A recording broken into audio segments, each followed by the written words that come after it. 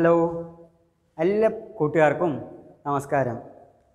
നമ്മളിന്ന് മലയാളത്തിന്റെ അടുത്ത ക്ലാസ്സിലേക്ക് കടക്കുകയാണ്. ഇന്ന് പുതിയ അതിഥികൾ കൂടി ഈ ക്ലാസ് കാണാനായിട്ടുണ്ട് അല്ലേ? കഴിഞ്ഞ ദിവസങ്ങളിൽ സംസ്കൃതം പഠിച്ചിരുന്ന മലയാളത്തിന് വേണ്ടി വളരെ ആകാംക്ഷയോടുകൂടി കാത്തിരുന്ന കൊച്ചുമിടുക്കർക്ക് ഈ ക്ലാസ്സിലേക്ക് ഹൃദയം നിറഞ്ഞ സ്വാഗതം.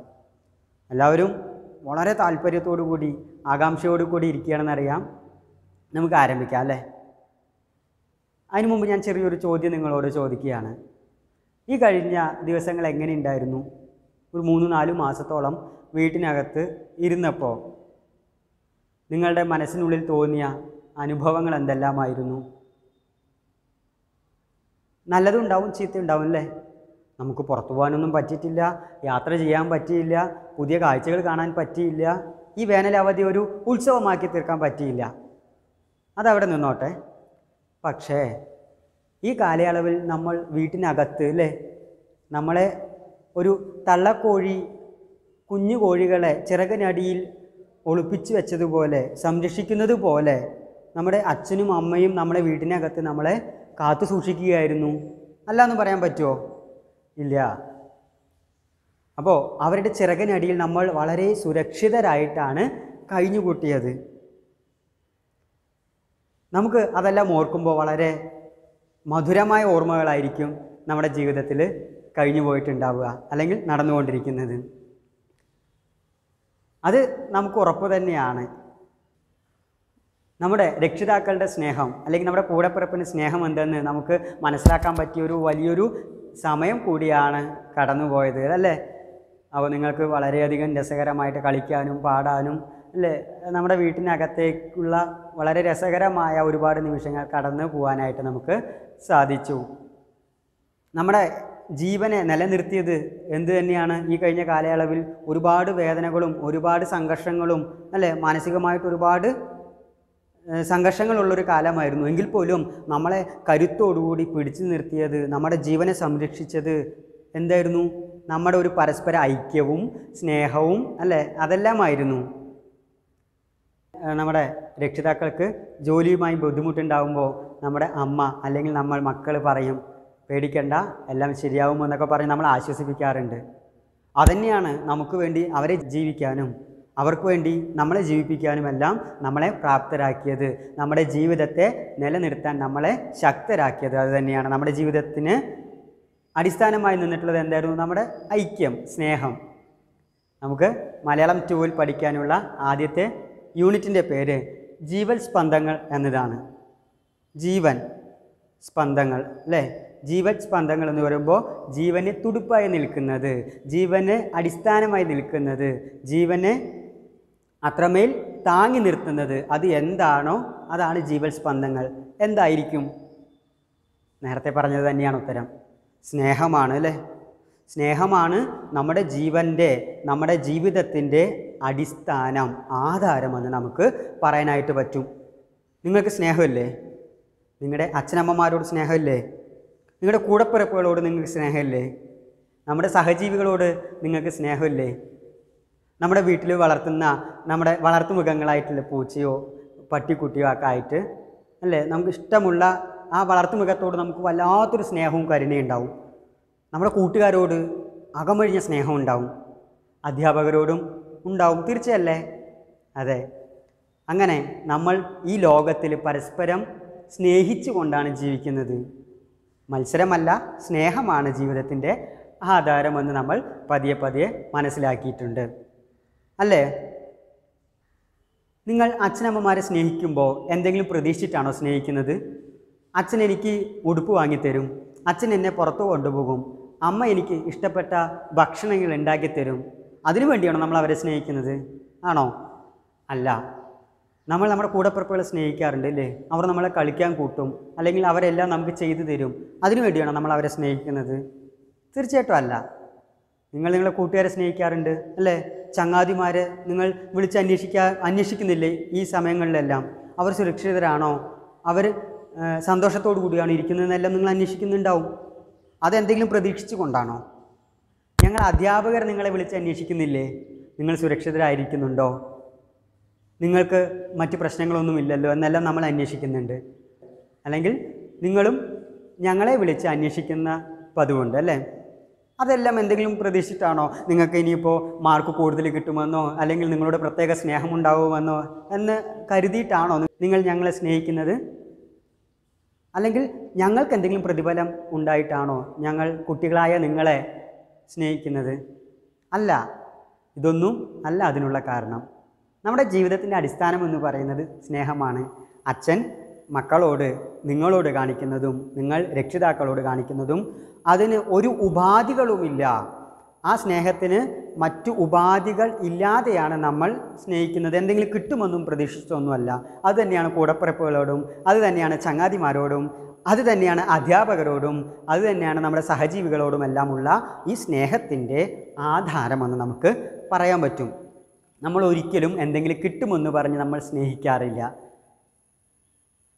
സ്നേഹമെന്ന് പറയുന്നത് ഉപാധികളെ ഉപേക്ഷിച്ചു കൊണ്ടുള്ളതാണ് ഉപാധികൾ ഇല്ലാത്തതാണ് സ്നേഹം. ആ സ്നേഹത്തിനാണ് യഥാർത്ഥത്തിൽ വളരെ ശക്തമായ ഒരു ബന്ധത്തെ നിലനിർത്താനായിട്ട് പറ്റുകയുള്ളൂ. കഴിഞ്ഞ വർഷം നമ്മൾ പഠിച്ചിരുന്നു. അടിസ്ഥാന പാഠാവലിയിൽ ഊഞ്ഞാൽ പാട്ടെന്നൊരു കവിത അല്ലേ? ആ കവിതയിൽ അച്ഛനും മക്കളും തമ്മിലുള്ള ഒരു വലിയൊരു ഊഷ്മളമായ സ്നേഹബന്ധത്തിന്റെ തീവ്രമായ ഭാവങ്ങൾ ഉൾക്കൊള്ളുന്ന ഒരു കവിതയാണ് നമ്മൾ പഠിച്ചത്. ഓർമ്മയുണ്ടല്ലോ അല്ലേ? അതെ. അതുപോലെ ഒരുപാട് കഥകളും കവിതകളുമെല്ലാമായിട്ട് പരസ്പര സ്നേഹത്തിന്റെ ജീവന്റെ അടിസ്ഥാനമായ സ്നേഹത്തെ കുറിക്കുന്ന ഒരുപാട് സാഹിത്യകൃതികൾ കഥകൾ കവിതകളെല്ലാം നമ്മൾ പരിചയപ്പെട്ടു.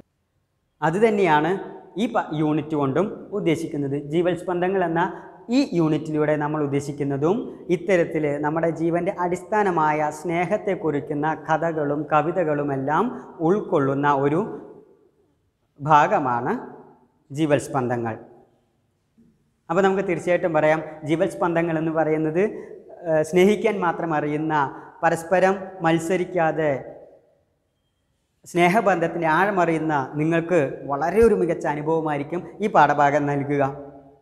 നമുക്ക് ആദ്യം ഈ യൂണിറ്റിലെ പ്രവേശക പ്രവർത്തനത്തിലേക്ക് ആ പ്രവേശക പ്രവർത്തനത്തിന്റെ ഭാഗമായി തന്നിട്ടുള്ള ഒരു കവിത നമുക്ക് വായിക്കാം. ജി കുമാരപിള്ള എഴുതിയ ഒരു ലഘു കവിതയാണ് അവിടെ തന്നിട്ടുള്ളത്. അതെന്താണെന്ന് നമുക്ക് വായിച്ചു നോക്കിയിട്ട് ക്ലാസ്സിലേക്ക് പതുക്കെ പ്രവേശിക്കാം. തയ്യാറല്ലേ? നമുക്ക് വായിച്ചാലോ? ഓക്കെ. ഭാഗം ഒന്ന് ജീവൽ സ്പന്ദങ്ങൾ. എന്റെ ഭൂമിയായി വെള്ളമായി വായുവായി എന്റെ നിത്യനിധാനമാം സ്നേഹമേ നെഞ്ചിൽ നീർവീഴ്ച ഞെക്കി ഞെരുക്കവേ. നെല്ലരിത്തിള വെള്ളപ്പകർച്ചയായി. എൻ മുറിപ്പാട് പൊത്തിപ്പൊതിഞ്ഞിടും. പഞ്ഞിയായി നേർത്ത ശീലയായി ചീന്തലായി. എന്റെ വേരിന്റെ മണ്ണിൽ വളങ്ങളായി. എന്റെ ചില്ലയ്ക്ക് സൂര്യപ്രകാശമായി. എന്റെ അന്നമായി ഉപ്പായി അനച്ഛമായി. എന്റെ നിത്യനിദാനമാം സ്നേഹമേ.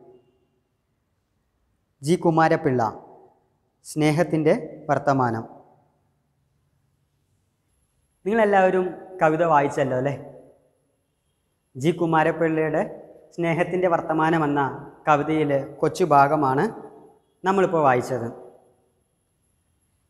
വളരെ ലളിതമായ ഭാഷയിലാണ് ആ കവിത പറഞ്ഞു പോകുന്നത്. അതിന്റെ ആശയങ്ങൾ എല്ലാവർക്കും ഒറ്റ വായനയിൽ തന്നെ മനസ്സിലായിട്ടുണ്ടാവും എന്നുറപ്പുണ്ട്. ആ കവിതയിൽ എന്തിനെക്കുറിച്ചാണ് ചർച്ച ചെയ്യുന്നത്?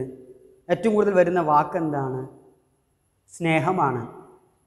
ഈ പ്രപഞ്ചത്തിൽ സ്നേഹമാണ് എല്ലാത്തിന്റെയും ആധാരം. മനുഷ്യനായതുകൊണ്ട് മനുഷ്യനോട് മാത്രമല്ല പ്രകൃതിയോടും സഹജീവികളോടും അല്ലേ? സാമൂഹികമായും എല്ലാം നമ്മൾ പരസ്പരം സ്നേഹത്താൽ ബന്ധിതമായാണ് നാം ജീവിക്കുന്നത്. നമുക്ക് ആകാശത്തോളം പറക്കാൻ നമ്മളെ പ്രാപ്തമാക്കുന്നത് ശരീരം കൊണ്ടല്ല മനസ്സുകൊണ്ട് നമ്മൾ ഉയരങ്ങളിലേക്ക് എത്തുന്നതിന്റെ അടിസ്ഥാനം സ്നേഹമാണ്. ഏത് ഇരുട്ടത്തും നമുക്ക് വെളിച്ചം വീശുന്നത് പ്രയാസങ്ങൾ അനുഭവപ്പെടുമ്പോൾ ആ പ്രയാസങ്ങളെ മറികടക്കാൻ നമ്മളെ പ്രാപ്തരാക്കുന്നത് അതിന് വെളിച്ചം വീശുന്നത് ഈ സ്നേഹമാണ്. സ്നേഹമെന്ന് പറഞ്ഞാൽ നമുക്ക് നിർവചിക്കാൻ പറ്റുന്ന ഒന്നല്ല. സ്നേഹം എന്നതിന് പല അർത്ഥമാണ് നമുക്ക് ലഭിക്കുക. പറയാൻ ഒരു വാക്കിൽ അല്ലെങ്കിൽ ഒരു വാക്യത്തിൽ നമുക്ക് പറഞ്ഞൊതുക്കാൻ പറ്റുന്ന വിഷയമല്ല സ്നേഹം എന്നത്. അത് അവാച്യമായ പറഞ്ഞാൽ തീരാത്ത പറഞ്ഞൊതുക്കാൻ കഴിയാത്ത ഒരു വലിയൊരു വിഷയം കൂടിയാണ്. സ്നേഹം എന്താണെന്ന് കുട്ടികളായ നിങ്ങളെ പറഞ്ഞ് പഠിപ്പിക്കേണ്ടതിന്റെ ആവശ്യമില്ല. ഏറ്റവും കൂടുതൽ സ്നേഹം ലഭിക്കുന്നത് നിങ്ങൾ കുട്ടികൾക്കാണ്. അല്ലേ? രക്ഷിതാക്കളിൽ നിന്നാണെങ്കിലും മുതിർന്നവരിൽ നിന്നാണെങ്കിലും കുട്ടികളിൽ നിന്നുള്ള ഒരു പരിഗണനയും സ്നേഹവും നിങ്ങൾക്ക് നിരന്തരം ലഭിച്ചുകൊണ്ടിരിക്കുന്നത്. വലിയ പ്രായത്തിലേക്ക് എത്തുമ്പോൾ മുതിർന്ന വ്യക്തികളാകുമ്പോൾ നിങ്ങൾ ഓർക്കുക ഈ ബാല്യകാലത്ത് ഈ ബാല്യത്തിൽ നിങ്ങൾക്ക് കിട്ടിയിട്ടുള്ള സ്നേഹത്തിന്റെയും നിങ്ങൾക്ക് കിട്ടിയിട്ടുള്ള പരിഗണനയുടെയും അടിസ്ഥാനത്തിലായിരിക്കും നിങ്ങൾ ഭൂതകാലത്തെ ഓർത്തെടുക്കുക. ജി. കുമാരപ്പിള്ള സ്നേഹത്തിന്റെ വർത്തമാനം എന്ന കവിതയിൽ സ്നേഹത്തെയാണ് നിർവചിക്കാൻ ശ്രമിക്കുന്നത്. സ്നേഹത്തെ അദ്ദേഹത്തിന് ഒന്നോ രണ്ടോ വാക്കുകൾ കൊണ്ട് നിർവചിക്കാൻ കഴിയുന്നില്ല. സ്നേഹത്തിന് പല മുഖങ്ങളാണ്. സ്നേഹത്തിന് പല ഭാവങ്ങളാണ്. ജീവിതത്തിൽ പല അവസ്ഥകളിൽ സ്നേഹം നമ്മളെ പല രൂപത്തിൽ വന്ന് സഹായിക്കുന്നുണ്ട്. നമ്മളെ ജീവിക്കാനായിട്ട് പ്രേരിപ്പിക്കുന്നുണ്ട്. വരികളിലൂടെ ലളിതമായിട്ട് പറഞ്ഞു പോവാം. എന്റെ ഭൂമിയായി വെള്ളമായി വായുവായി എന്റെ നിത്യനിദാനമാം സ്നേഹമേ.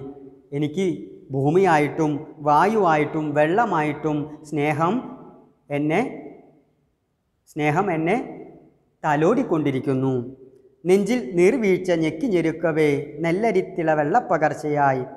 എൻ മുറിപ്പാട് പൊത്തിപ്പൊതിഞ്ഞിടും പഞ്ഞിയായി നേർത്ത ശീലയായി ചീന്തലായി.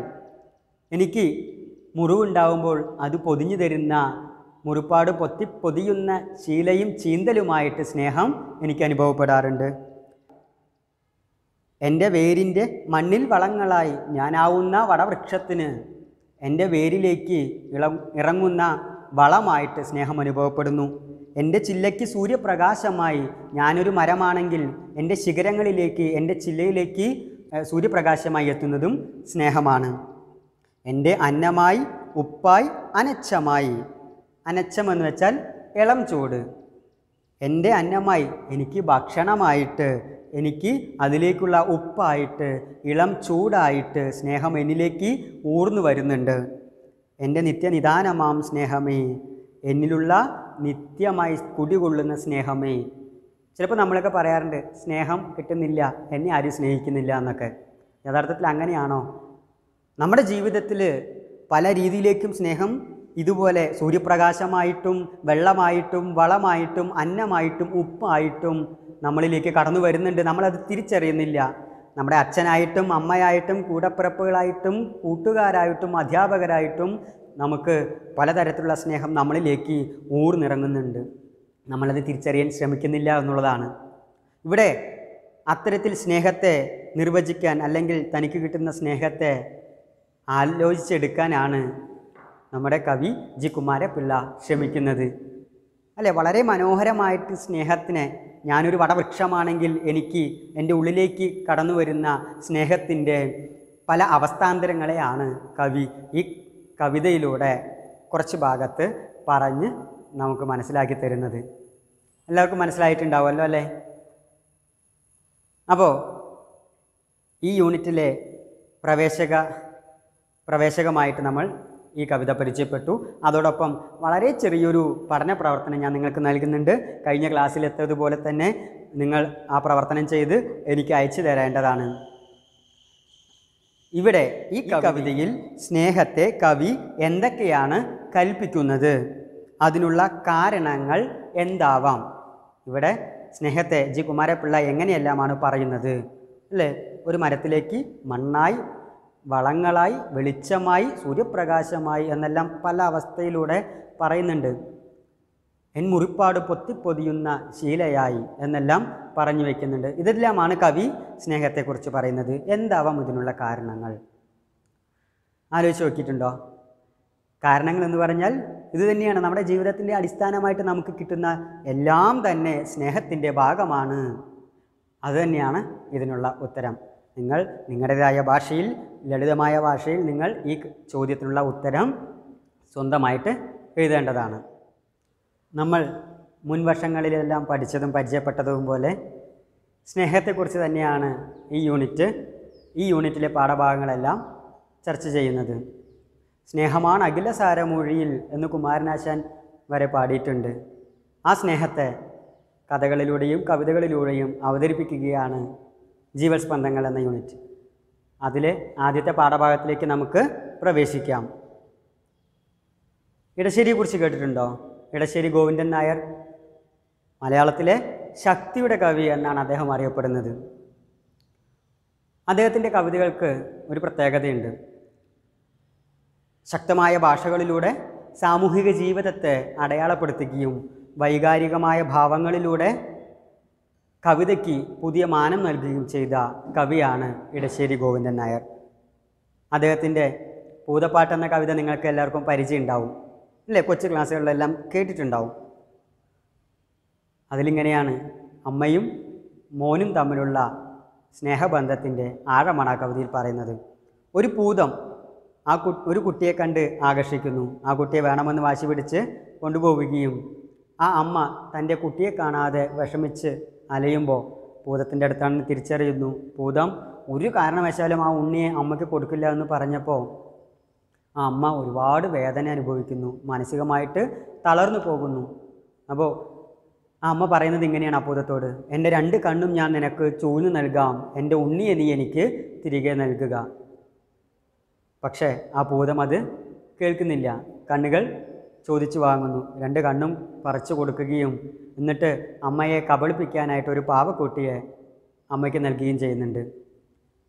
അപ്പോൾ അമ്മ പറയുകയാണ് കാഴ്ചയില്ലാത്ത രണ്ട് കണ്ണും നഷ്ടപ്പെട്ട ആ അമ്മ ആ പാവക്കുട്ടിയെ സ്പർശിച്ചുകൊണ്ട് പറയുന്നുണ്ട് ഇതെന്റെ ഉണ്ണിയല്ല എന്റെ ഉണ്ണി ഇതല്ല എനിക്കെന്റെ ഉണ്ണിയെ തിരികെ തന്നാലും എന്ന് പറയുമ്പോൾ ആ പൂതം അതിശയപ്പെട്ടു പോവുകയാണ് കാഴ്ചയില്ലാത്ത ഈ അമ്മയ്ക്ക് തന്റെ കുഞ്ഞിനെ എങ്ങനെ തിരിച്ചറിഞ്ഞു എന്നുള്ള ഭാവത്തിലാണ് കവിത അവസാനിക്കുന്നത്.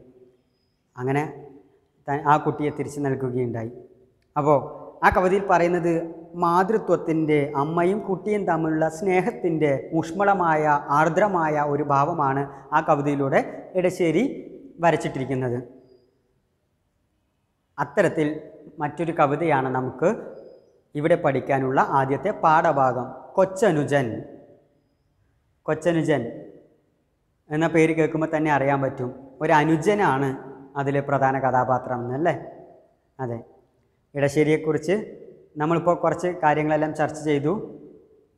ഇതെല്ലാം നിങ്ങൾക്ക് സൂചകങ്ങളായിട്ട് നൽകുകയും ചെയ്യുന്നുണ്ട്. നിങ്ങൾ എന്ത് ചെയ്യണം? ഈ സൂചകങ്ങളെല്ലാം ഉപ ഉപയോഗപ്പെടുത്തിക്കൊണ്ട് ഒരു മികച്ച ജീവചരിത്രക്കുറിപ്പ് നിങ്ങൾ എഴുതേണ്ടതാണ്. തന്നിട്ടുള്ള സൂചകങ്ങളും ഞാൻ നിങ്ങൾക്ക് നൽകിയിട്ടുള്ള നിർദ്ദേശങ്ങളും കൂട്ടിച്ചേർത്ത് നിങ്ങൾക്കറിയാവുന്ന കാര്യങ്ങളും കൂട്ടിച്ചേർത്ത് ഒരു മികച്ച ജീവചരിത്രക്കുറിപ്പ് ഇടശ്ശേരിയുടെ തയ്യാറാക്കി എനിക്ക് അയക്കുക. ചെയ്യില്ല എല്ലാവരും. ചെയ്യും. നമുക്ക് ഇനി ഈ പാഠഭാഗത്തെക്കുറിച്ച് ഞാൻ വളരെ ലളിതമായിട്ട് ചുരുക്കി പറയാം. അതിനു മുമ്പ് ഞാൻ നിങ്ങളോട് ചോദ്യം ചോദിക്കുകയാണ്. വീട്ടിൽ അച്ഛനും അമ്മയും എല്ലാവരോടും സ്നേഹമുണ്ടെന്ന് പറഞ്ഞാലും നമുക്ക് എപ്പോഴും ഇഷ്ടം എന്തിനോടായിരിക്കും? കളിയോടായിരിക്കും. കളിക്കാൻ കൂട്ടി നിൽക്കുന്നത് ആരായിരിക്കും? നമ്മുടെ കൂടപ്പിറപ്പുകളായിരിക്കും. അല്ലേ? ചേച്ചിയോ ചേട്ടനോ അനുജനോ അനിയത്തിയോ? അതൊരു വല്ലാത്തൊരു വികാരമാണ് നമ്മളുടെ ഉള്ളിലെല്ലാം. കുട്ടികളായിരിക്കുമ്പോൾ നമുക്ക് കളിക്കാനും നമ്മളുടെ കാര്യങ്ങൾ ശ്രദ്ധിക്കാനും നമ്മുടെ സ്കൂളിലേക്ക് അണിയിച്ചൊരുക്കി വിടാനുമെല്ലാം ഒരു ചേച്ചിയോ ചേട്ടനോ ഉണ്ടെങ്കിൽ അല്ലെങ്കിൽ ചേട്ടന്മാരാണെങ്കിൽ നമുക്ക് ഒരു അനിയനോ അനിയത്തിയോ ഉണ്ടെങ്കിൽ എന്ന് നമ്മൾ ആഗ്രഹിക്കാറുണ്ട്. നമ്മളത് ചെയ്യാറുമുണ്ട്. ഇവിടെ സഹോദര സ്നേഹത്തിന്റെ തീവ്രമായ ശക്തമായ ഒരു ഭാഷയിൽ അവതരിപ്പിക്കുകയാണ് കൊച്ചനുജൻ എന്ന കവിത.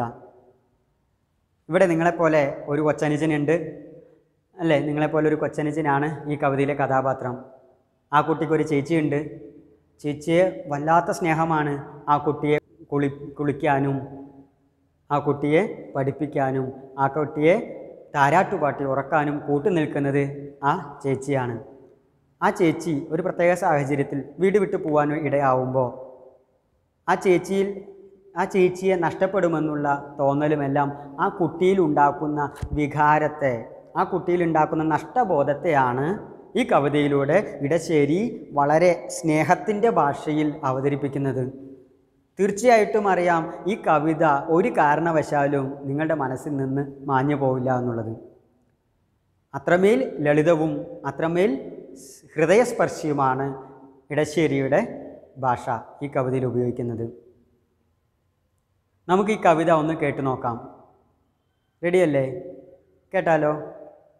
കവിതയോടൊപ്പം നിങ്ങളും ചൊല്ലുക. കൊച്ചനുജൻ. ചേതന പോലവേ കാത്തതല്ലേ ചേച്ചി ചേലണി പാവകളെ. ചേറാണ്ടൊരെന്റെ കൈ തൊട്ടുപോയാലൊട്ടു ഛേദം വരുമെന്നു ചൊന്നതല്ലേ. എന്തിനെ പിന്നെ നീ എന്റെ മുമ്പിൽ മനോഹാരിത വെച്ചു തന്നു. തേരോടിക്കാറ്റിനായേറെ ചുകന്ന പൂ വാരിക്കൊടുക്കുന്ന വള്ളി പോലെ. എന്തിനീ ചേച്ചിതൻ പുസ്തകങ്ങൾ അന്നലമാരയിൽ കൊണ്ടുവച്ചു? നിത്യം പെറുന്ന മയിൽ പീലിക്കണ്ണുകൾ പൊത്തി മറച്ചിട്ടു മാറ്റിടാതെ. നൂലിൽ നീ കോർത്തൊരു നാളിൽ മാത്രം ചേലിൽ ഞാനിട്ട പളുങ്കുമാല ഊരിത്തരേണ്ട പെൺകുട്ടികൾ കാണത്രേ സാരിയും മാലയും ചേർച്ചയുള്ളൂ. നീ എന്താണിങ്ങനെ മൂകയാവാൻ? ഇമ്മിഴി എന്തേ കലങ്ങി നിൽക്കാൻ? ഇങ്ങനെ ഇങ്ങനെ ആകിലേ നല്ലുവൻ. ഇന്നും കലമ്പിയോ നിന്നോടമ്മ. ഇന്നലെ തെക്കേ പുറം വളപ്പിൽ കൊന്നിക്കുരുവും വെറുക്കി നിൽക്കേ. എന്നുള്ളിൽ ഇപ്പോഴൊരീശൽ എന്തോതാനാൻ? അമ്മ വിളിച്ചതു നിന്നെ മാത്രം. ഉമ്മറത്തിണ്ണയിൽ വന്നിരുന്നു. നമ്മളറിയാത്തൊരേറെ ആൾക്കാർ കന്മതിലിന്മേൽ കളം നിറഞ്ഞൊരു നാൾ അമ്പലപ്രാവുകൾ എന്ന പോലെ നിന്നെ വിളിച്ചു വരുത്തിയമ്മ. പിന്നാലെ വേണ്ടാതെ ഞാനും എത്തി. എന്നേർക്കതിയിലൊരാൾ പുഞ്ചിരി കൊണ്ടപ്പോൾ ഒന്നിടിക്കാനൻ മനസ്സിൽ വന്നു. എന്നേർക്കതിയിലൊരാൾ പുഞ്ചിരി കൊണ്ടപ്പോൾ ഒന്നിടിക്കാനൻ മനസ്സിൽ വന്നു. ആളൊഴിഞ്ഞന്തി വിളക്കു വെച്ചു. ബാലപാഠം ഞാനുരുവിടുമ്പോൾ ആരൂമകായിലിൽ എന്റെ വടക്കിനി? മൂലയിൽ ഇത്രയും നാട്ടുകൂട്ടം. തേങ്ങിയ താരെ ചിരിച്ച ചിരിച്ചതാരെ തേടി ഞാൻ അങ്ങോട്ടു വന്ന നേരം ഞാനറിയാതുള്ള ഭാഷ മുരളുന്ന തേനീച്ചക്കൂടാണതെന്നു തോന്നി. ഞാനറിയാതുള്ള ഭാഷ മുരളുന്ന തേനീച്ചക്കൂടാണതെന്നു തോന്നി. നീ എന്നരികിലിരുന്നു രാവിൽ നീ മന്ദമന്ദം പുറം തലോടി. നീണ്ട നെടുവീർപ്പു കൊണ്ടുറക്കിട്ടു ഞാൻ കണ്ടു കനത്ത കിനാവനേകം.